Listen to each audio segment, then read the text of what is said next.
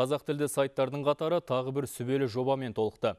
Бүгін халқымыздың әдеби мұрасы мен тарихын танытатын әдебиет порталының тұсауы кесілді.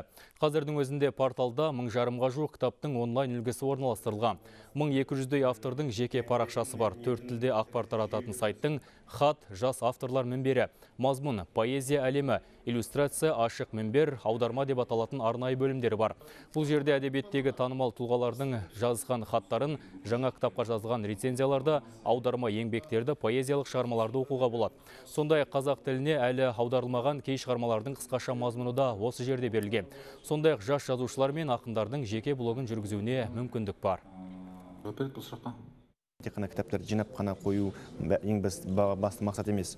Бұл жердегі ең басты мақсат әдебиет сүйер қауымды бір платформаға жинау яғни олардың өздерінің шығармашылықтарын насихаттау олардың шығармашылық мына жұмыстарын жүргізу. Алдағы уақытта бұйыртса әдеби дәрістер профессорлар ғалымдар тарапынан әдеби дәрістер оқылып видео дәрістерді шығару жоспарланған.